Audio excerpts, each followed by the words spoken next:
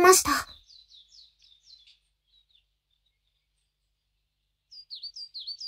いたのですか？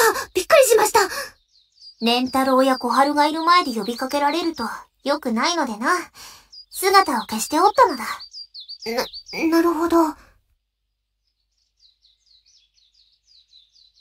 い。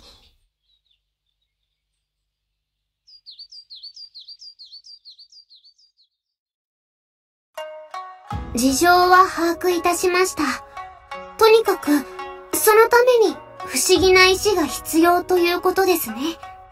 そして、私もその石に関係があると。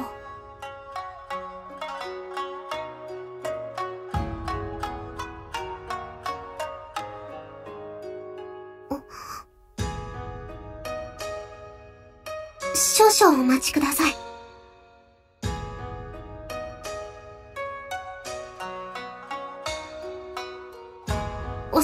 く、これではないかと。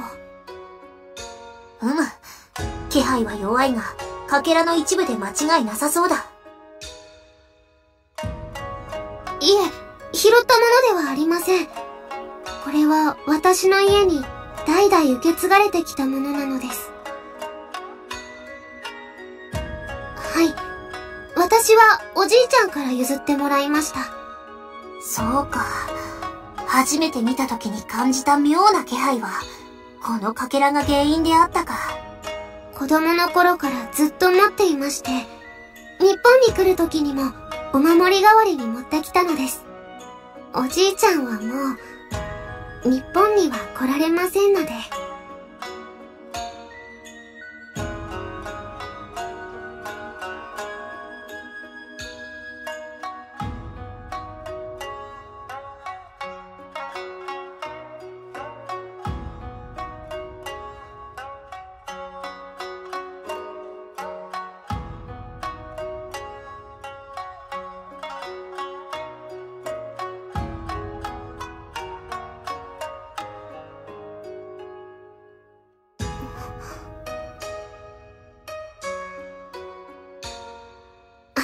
頭を上げてください、マサオミ。構いませんよ。あのですね、構いませんと。おお何でもしていただけるのですか？それはとてもいいことを聞きましたね。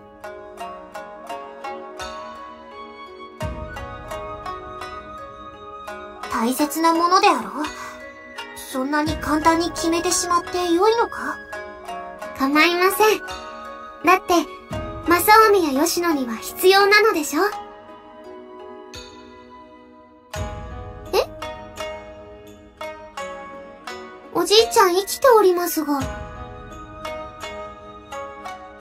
元気ではあるのですが、もう高齢ですので膝や腰を悪くして、旅行は少し難しいだけですよ。痛みではありませんので、ご安心ください。心配してくれるのはありがたく思いますが、そう念押ししないでください。思わず考えが変わってしまいそうです。すまぬな。確かにこれは大切なものです。このような事情でなければ、頼まれても譲らなかったと思います。ですが、マサオミは、日本でできた最初の友人です。あの時、正臣やマコに案内されて嬉しかったです。それに吉野もいい人で、学院で一緒にお弁当を食べるのも楽しいです。毎日がすごく充実していて、満喫しています。みんな大切な友人です。れから村雨ちゃんも大切な友人の一人です。友人のためであれば、むしろ譲らないと怒られてしまいますよ。それにですね、一つに戻ることがかけらの意志なのでしたら、そうすることが一番いいと思います。ご先祖様も、それを望んでいると信じております。ですので、気にせず受け取ってください。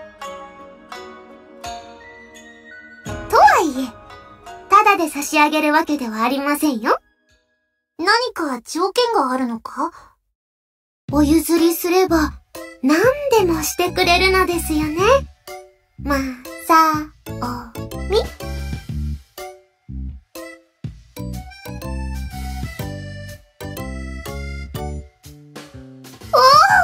では私、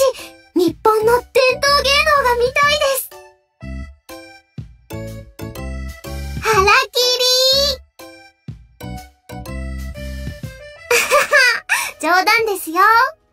本当のお願いはですね。私とこれからも友達でいてください。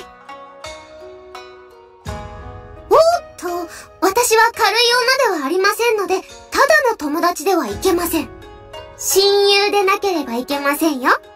それが、お譲りする条件です。さあ、どうしますか？まさおみ。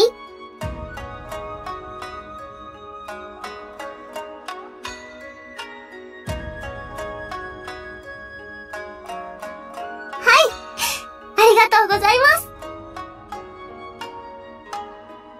はい。よろしくお願いいたします。まさみ。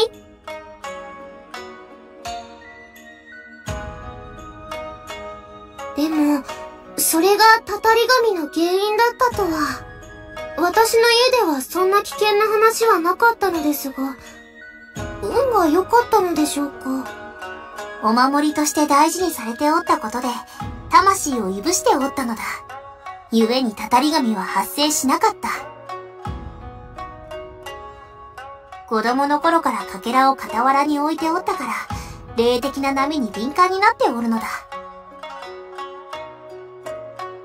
では、かけらを渡してしまったら、もう村雨ちゃんが見えなくなってしまうのでしょうか？いずれはそうなる可能性もある。だが、手放した直後からということはあるまい。そうですか。よかった。村雨ちゃんも大切な友人ですので。おう。そう言われると、何やら照れるの？と、とにかく、かけらを集めていぶするという方法は間違ってないと思う。